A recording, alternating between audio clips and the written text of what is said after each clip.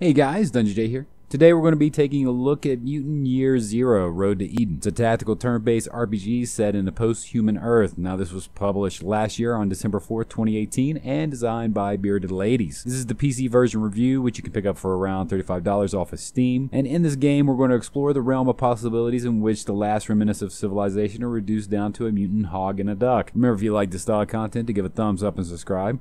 It really helps out.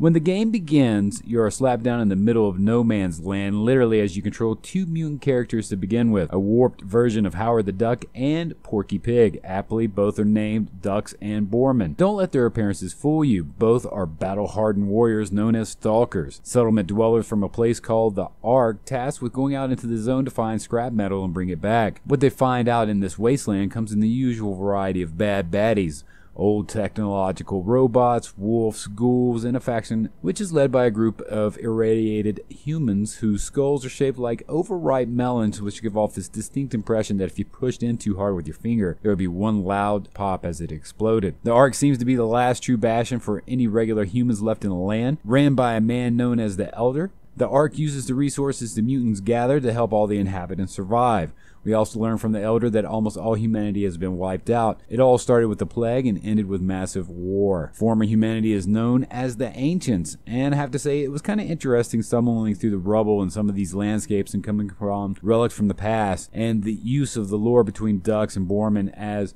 they come across these old relics really had me cracking up because some of those one liners were just really nice and out of nowhere.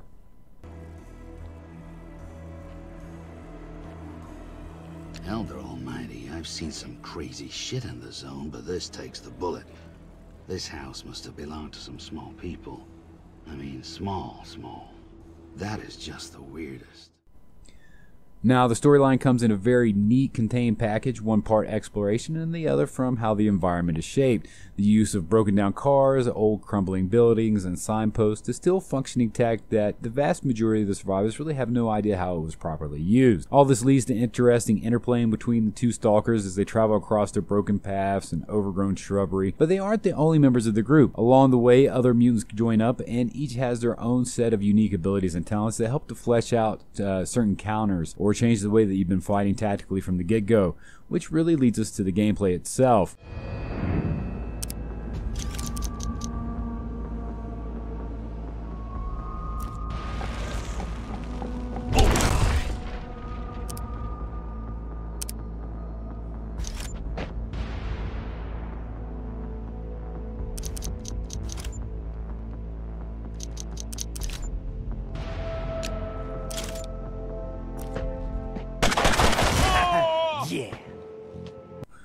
While the encounters are turn-based, there is also a fair amount of stealth involved in this game. Also, it's in the mechanics itself when fighting. Using stealth modifiers really helps in your battles, and the use of critical strike is mandatory for success as the game progresses. Each encounter becomes increasingly more difficult to handle. There's a variety of difficulty settings as well to beef up that challenge, but I found that this has some problems. There's no randomness to the items. Where they spawn, what you get is finite. It's a finite resource, and if you up the difficulty and start strapping down on health kits from the local arms dealer in the Ark in an effort to just try to survive each encounter, it's really going to gimp your progress. But you might ask why. Well, when you up the difficulty, you lower how the hit point regenerates after each battle and how the special abilities go on cooldown. Not to mention that the game heavily rewards stealth kills, and taking someone down before they can shout out for help is paramount to finishing some of these segments. However, the mobs get harder, and taking someone down with stealth starts to become a matter of making sure that they're locked down or incapacitated while you unload weapons into them, usually for at least two rounds. Now, when you incapacitate them, they can't shout out for help, and this special ability that Bormin has was really good at this, which is a semi quiet charge. So, I found in the later stages that I really had to use Bormin's quiet charge ability frequently, and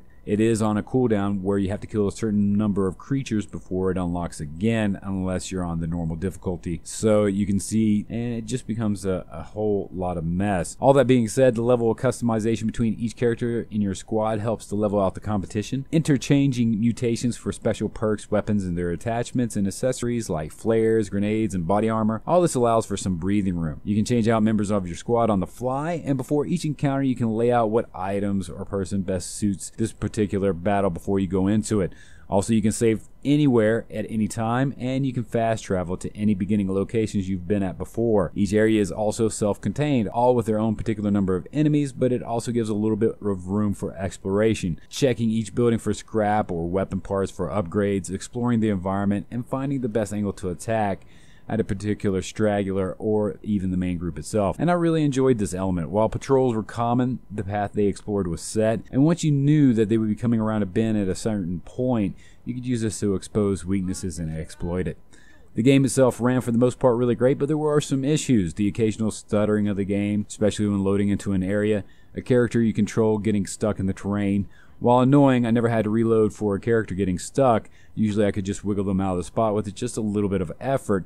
Also, the AI was a hit or a miss. When fighting against them, they sometimes did things that didn't really make sense. They'd run around a corner further away from you and try not to engage for no other reason than the sake of just running around that corner. And it didn't happen a lot, but when it did happen, it kind of made you question what they were doing, and it throws you out of that immersion of the setting a little bit. But there you have it, just a few technical glitches and hiccups, but overall a very smooth experience sound, and music design. Did you hear that voice? That was weird. Keep your guard up. Take a chill pill, alright? If the voice wants to bring light to the zone, I'm all for it.